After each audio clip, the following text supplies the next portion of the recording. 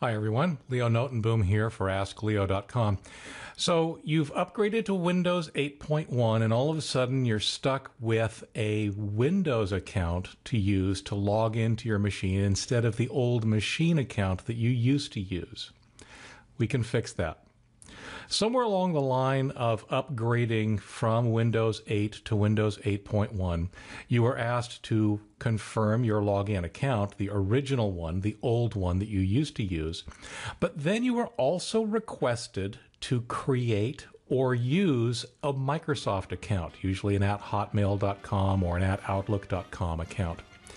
Um, it, I say requested because, in fact, it is a request. There are ways to actually bypass it at that point, but it's not at all obvious, and in fact, it's somewhat more complex than just going ahead and letting it happen and then doing what we're about to do to remove it.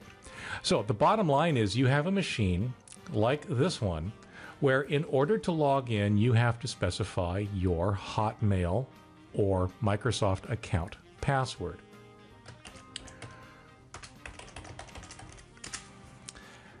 And it works. I mean, certainly there are scenarios where using a Microsoft account to log into your Windows machine is perhaps the right thing to do. I much prefer to use the old standard machine based login account. So, to do that, what I'm going to do is now that it's fully loaded, I'm going to type sign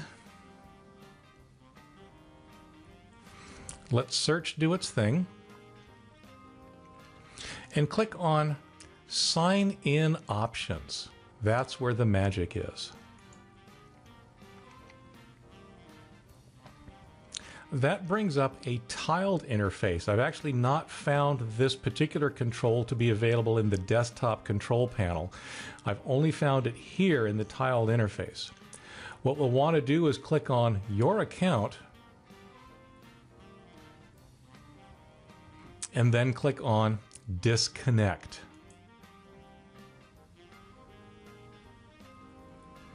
We'll need to reconfirm the password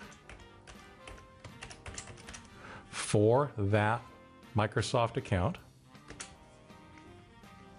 And now we have an opportunity to create or actually revert to the original login account we used before we did the upgrade. In this case, LeoN is in fact the account that I was using to log in.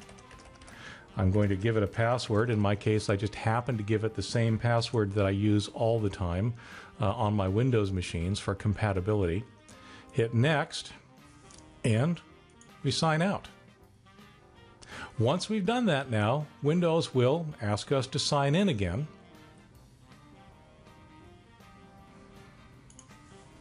This time, we can choose the user with that name.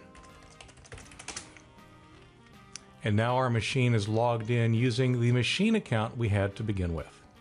That's really all there is to it.